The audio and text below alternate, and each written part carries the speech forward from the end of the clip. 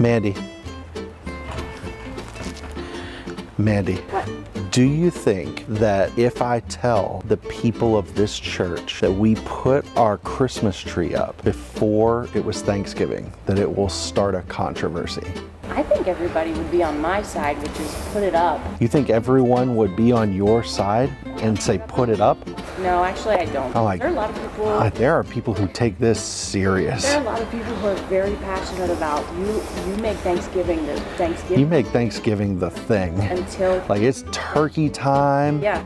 right up until like that meal ends. I'll be back.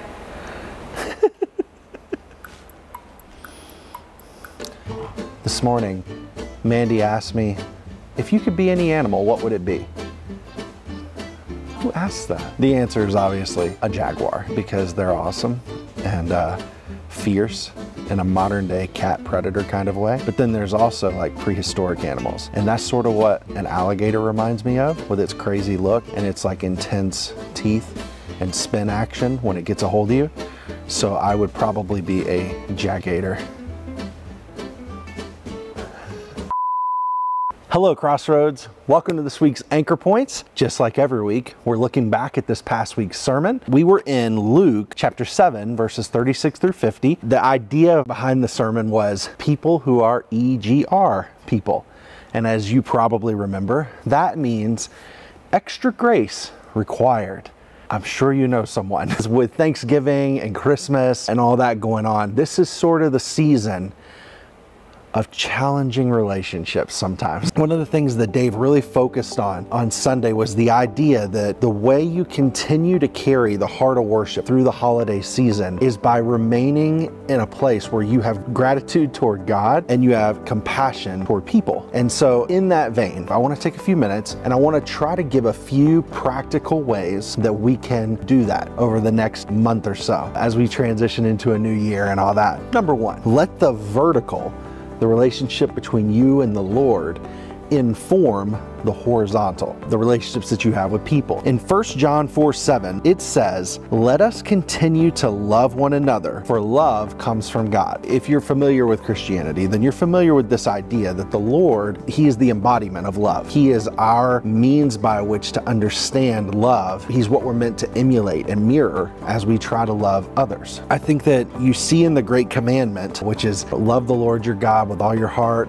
all your mind, all your soul, all your strength and then the second is like it to love others as yourself. I think because of the way that's translated, I don't know if we're fully getting it. And so I would say try to read it like love God, love yourself, and love others. And so the way that you love God, you study His Word, you do all the things that we're aware of, like in getting saved and all that. But the way you love yourself is by allowing your relationship with the Lord to sort of inform that. And you allow the Lord to tell you the things that are true about you and to love you by reminding you that you're His image bearer, that you're His son or His daughter. Those are the things that God says about us. We are loved. Similarly, when we love others, we're meant to allow our love for ourselves to inform that. Now that we know that we're loved, we're able to sort of love ourselves as well, and then we're able to give the same amount of compassion that we would give to ourselves to others. Number two is remember that you can protect yourself from difficult people without writing them off. EGR, right? There are just certain people, and I want to be clear like some relationships, I mean, they're abusive and they're things that there's a legitimate line where if it crosses over into this one, then you do need to create space and you need to be in a place of safety. But then there are other relationships where it's not an abusive thing, it's it's a it's a challenging thing. Maybe you just don't see eye to eye on on everything, maybe you don't get along, maybe your personality personalities just don't mesh, whatever the case may be. Or maybe somebody is just mean to you for whatever reason. I want to remind us that Jesus went through these things too. There are times where Jesus was in situations where people were just mean to him. And I think we forget that. We remember the cross and we remember that whole story, but we forget that, I mean, just in his life, people were mean to him. John chapter 1, verse 46, it says, Can anything good come out of Nazareth? In Mark 2 16, it says, How is it that he eats with tax collectors and sinners? In Mark 6 3, it says, Is this not the carpenter, the son of Mary, and brother of James, Joseph, and Simon? And are not his sisters here with us? They were offended at him. In Matthew chapter 11, verse 19, it says,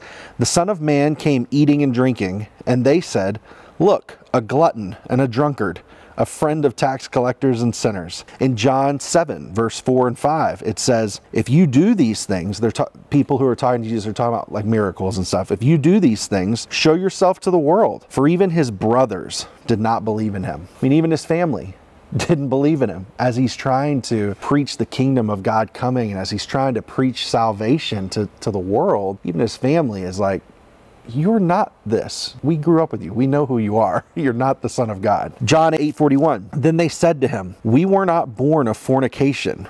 We have one father, and that's God." Even questioning his origin story. Last one we'll do. It says, Then the Jews answered him and said, Do we not say rightly that you're a Samaritan and have a demon? Like, sometimes the things that people will say about you or to you, they are totally off base. Sometimes it, what ends up happening is these things and these lies and these, these meannesses that people will throw at us, they begin to take the place in our mind of the things that are true and right and noble and good that the Lord says about us in His Word. And what that can lead to, I think, is bitterness. It can lead to feeling like you aren't who God says you are. There was an interesting quote that uh, it's just a pastor, an old pastor of mine used to say, and it's a bit, uh, crude's not the word, but it's something sort of like that. And he always used to say, bitterness is like drinking poison and then waiting for the other person to die. Some of you, I mean, some of you, including me, like we've experienced real hurt, real pain from other people and at the hands of other people. But it's important to not allow that to define you and to create this version of yourself that isn't loving. If you are living with bitterness. You are letting it poison you, and it likely is not making the impact that you would want it to in the person who caused it. So I would encourage you through the power of reading the word, through the power of prayer, through the power of connecting with other believers, let that bitterness go. And then last but not least, as we're trying to think of practical ways to be thankful and to be compassionate this season, remember who you were and remember who you are. So the remember who you were, I want to read one verse to you. It's Ephesians chapter 2 verse 4 one of the neater verses in all the Bible. It says, But God, who is rich in mercy, because of his great love with which he loved us, even when we were dead in trespasses or sins, made us alive together with Christ.